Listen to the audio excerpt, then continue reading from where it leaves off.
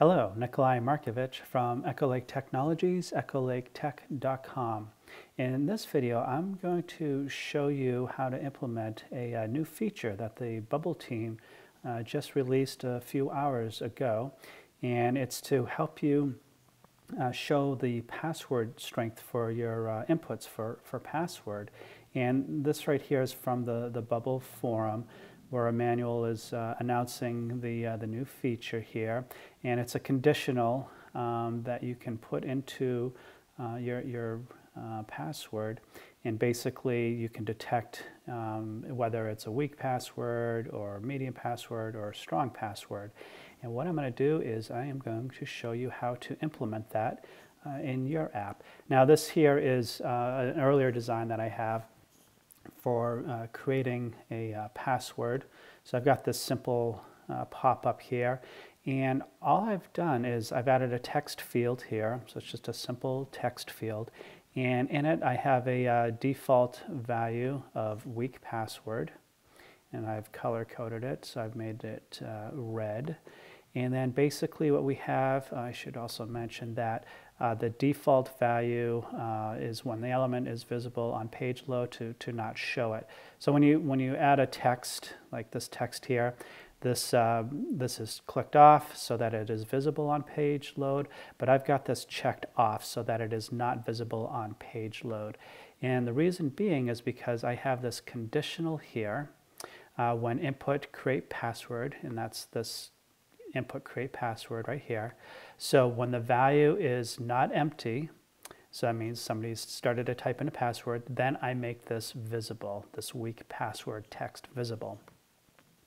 And then this is where the, the new part of it comes in from the bubble team. So when the input create password, password strength is greater than or equal to 40, and I just arbitrarily picked 40. The range on this is, uh, I think it was 0 to 100.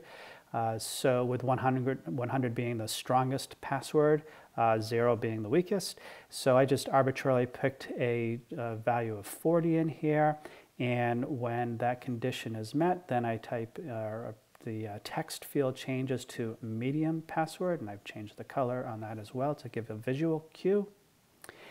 And then what I've got is another one on here. So when the input create passwords password strength is greater than 80, then I go and say, hey, this is a strong password again. Got the color change on there. Now, let me just go and show you how I did this. So what I've done is I've went and defined another condition, and then when, and then the input create password. So this is what's new right here password strength. And then is greater than or equal to, and then whatever value you want. Uh, and that's basically, and then you can go and change the, um, the different parameters. So what I clicked on here, or what I chose on here was text. Okay.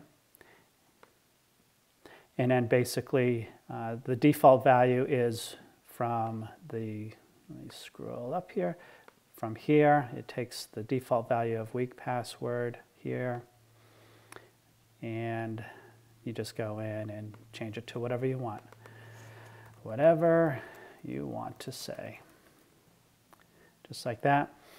And that's basically all you have to do. You can change the, um, uh, this to a different font if you wanted to as well, font size, and, and whatever you, you feel like you need to do for your app.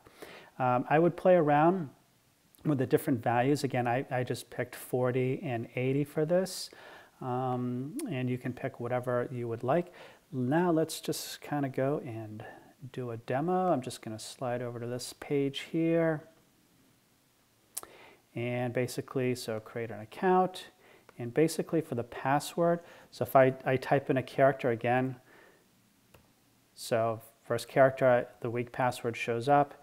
And I'm just randomly picking different characters in here. Okay, so it's hit the trigger point of 40. So now it's going to be medium password and a couple more, and I got strong password.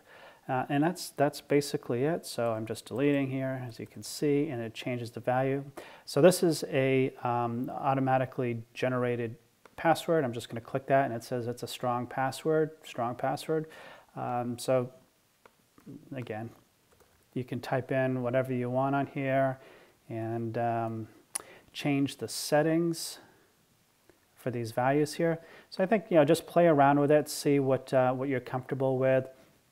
Try a couple of different uh, passwords and um, see uh, what the values um, should be set up. I think, uh, me go over here. Um, they had it set up, yeah, so in this uh, demo they had it set up for 80, so I just kind of took that for a strong password as well. Um, and then the 40 was just uh, kind of arbitrary, half of 80, and just picked it for the, for the medium. And that's it. Um, a quick demo uh, to show you how to add some uh, uh, nice user experience for your input for password. Uh, if you like the video, I do appreciate the thumbs up. I have more videos in the pipeline, so if you subscribe to my channel, you'll be notified of when those videos come out. Uh, I do appreciate you watching to the end here, and uh, with that, I'll see you in the next video.